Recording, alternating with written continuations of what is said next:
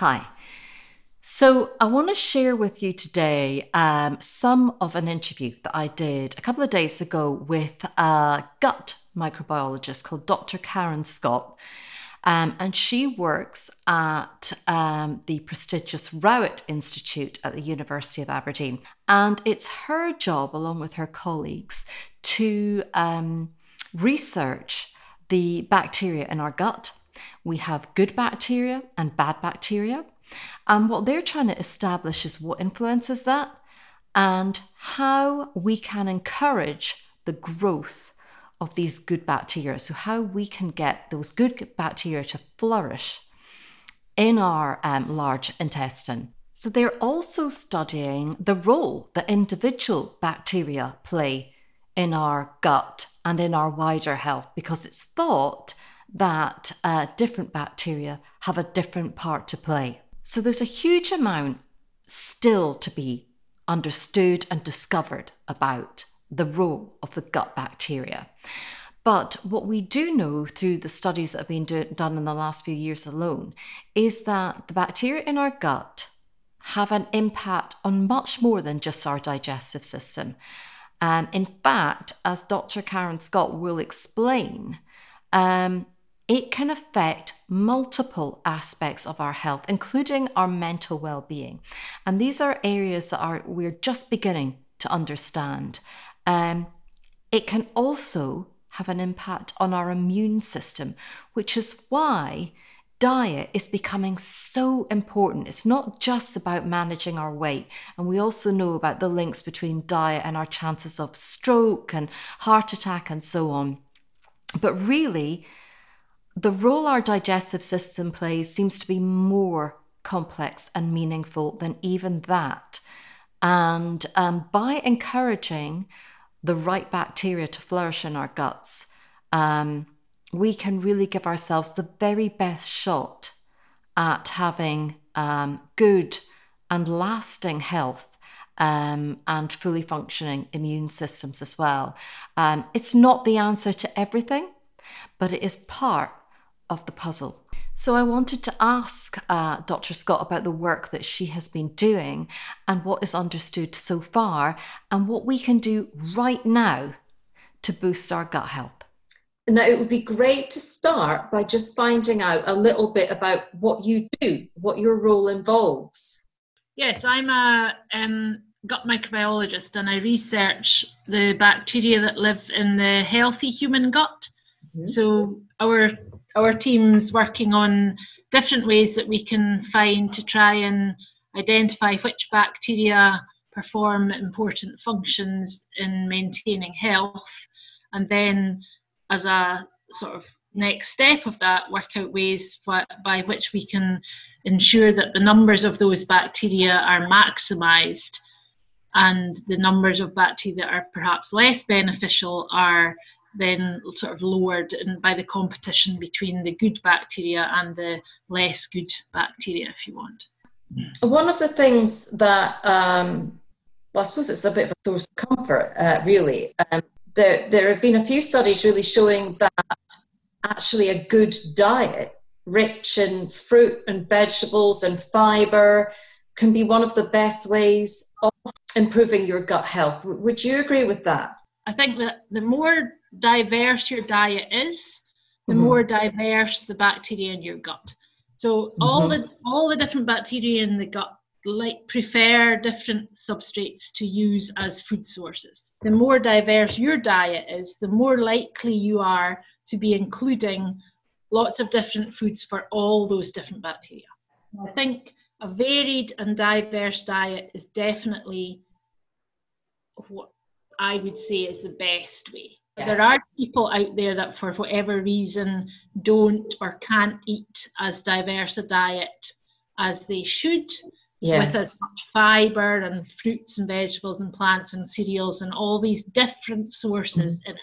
And I think for those people who are lacking that diverse diet, that's when you start needing to think, okay, so I need to supplement my diet in some way by having a specific prebiotic to keep the bacteria going or adding a specific probiotic bacterium if I don't have enough of that bacterium anyway. You're quite right. The the first step would be to have a nice, varied, diverse diet, definitely.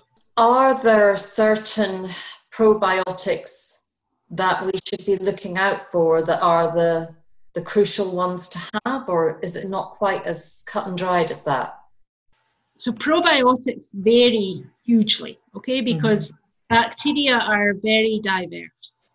So it's almost like if you think of all, I all sometimes make the analogy to students that it's like somebody saying to you, "Oh, I would like a mammal for a pet." now, you, that doesn't really give you a lot of clues about what kind of pet they want. You don't know if they want something like an elephant or a mouse or whatever. Yeah? So mm-hmm. bacteria are just like that. They're very, very different. So if you have a particular, and there are definitely lots of studies that have been done with very specific probiotics that have shown to be effective to alleviate symptoms of very specific diseases. Mm-hmm. But in order to for that to work for you, you really do need to use that particular probiotic bacterium. Probiotic activities can be divided up into so some of them some of them are generic, some of them are relatively specific, and some are very specific. Applying that to our lives and having any idea of what would be useful for us is is kind of nigh impossible. No? I think it is very challenging for it's even challenging for me. So mm. and I yes. know I have I have a little bit of knowledge. So for people who have less knowledge, it, it is it's very difficult.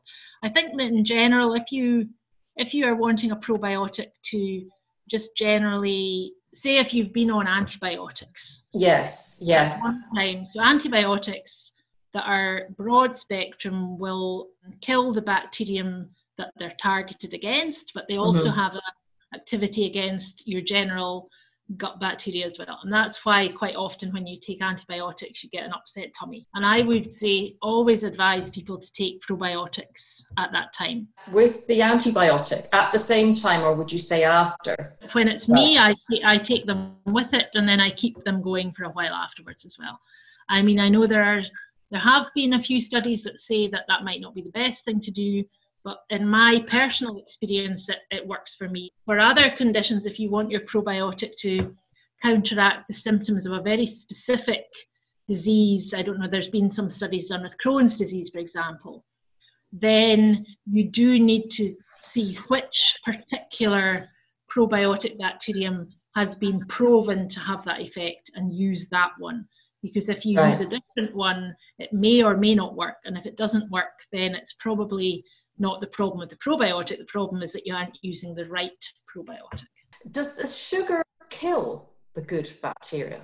Sugar in itself will not kill them, but if your diet contains a huge mm. amount of highly refined and processed food, then your right. diet itself is containing a lot more sugar. Mm-hmm. But it's actually the fact that all of the food that contains that sugar is highly refined and highly processed which means it's got less fiber in it, really. Mm-hmm. And it also means that most of that food then is absorbed in the upper intestine and doesn't reach the large intestine. And it's the food that reaches the large intestine that's really important for yeah. the growth of the vast number of these bacteria, because that's where the huge population of bacteria that we it's essential to our health. They live in the yes. large intestine. Fermented foods definitely play an uh-huh. important role. So, I mean, there, I'm not so familiar with the literature on fermented foods, mm-hmm. but there certainly is a growing body of evidence that people who consume quite a lot of fermented foods tend to have a healthier gut microbiota.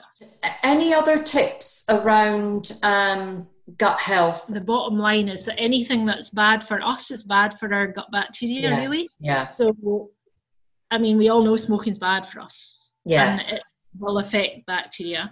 Um, we all know that drinking t- too much alcohol is also bad for us and it will affect our yeah. bacteria. And you yeah. know that yourself, the effects of too much alcohol has on your stomach anyway. So you know yes. it's having.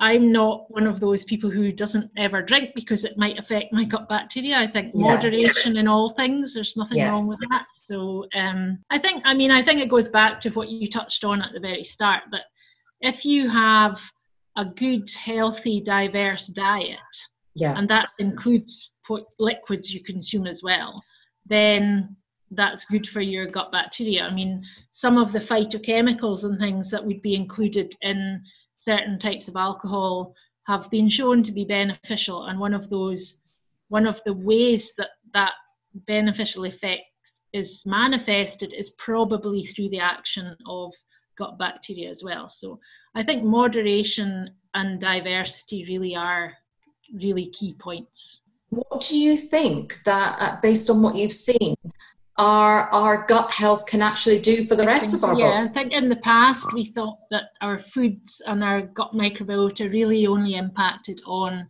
our gut health. Mm-hmm. But we now we're becoming more and more aware that the um, products of the gut microbiota, so the metabolic products of those gut bacteria, are absorbed into the bloodstream and then circulate around the body. And during that circulation around the body, they interact with different receptors in different sites in the body, and that's what then has this effect on other parts of our health. And the gut brain axis is something that's become we've become quite aware of in the last decade, say, mm-hmm. and certainly in the last few years, there's more and more research being done. And I think there there's quite strong evidence that links specific signaling factors from the gut microbiota with um, there's, well, there's two examples that I can think of offhand. One of which is the satiety. So, how our brain responds to food and how full we feel is potentially linked to the products of some of the bacteria in the gut as they're digesting the food as well. So, that's okay. one of the things. And also, some signals that other bacteria in the gut produce can interact with our sort of well-being center in the brain because there's been some links of some bacteria and depression for example so there are definitely things going on there we're very we're at the very early stages of the research into really the mechanisms of this mm-hmm. all and i mean it's a really interesting area and i think in the next few years we're going to understand a lot more about that yeah. and but I think that's a really interesting one. There's also um, evidence that what the bacteria in the gut do impacts on cardiovascular disease as well. So there's some metabolites that are linked to that. I think they're, they're, we're becoming more aware of various different diseases all all yeah. over the sites that are linked through to what our gut bacteria do. There's so much more to come on this, isn't there? We're at the very early stages of this research, and yeah. I think it's a very exciting area actually. I mean, even even this current COVID epidemic that we're in, potentially there also are factors that may be linked through to the gut microbiota that could end up being important. I mean, the wow. studies really haven't been done yet, but we know that certain bacteria have receptors for viruses, and potentially there are things there as well. But we really we really don't know anything about them at the moment. No, no. I think sometimes it's frustrating because you, the more you find out, the more you realise there is to learn. So it's um, yes. Um, we're really at the beginning of so much of this, but yeah, we're we're further ahead than we were when I started this 20 years ago. So absolutely, yeah, great. Okay, well, thank you so much for your time. I really appreciate it. There, thank you. Thanks for watching another honest video. There are lots of videos on this channel covering everything from health to uh, domestic cleaning products to beauty. Check it out. Uh, don't forget to like and subscribe, and I'll see you next time.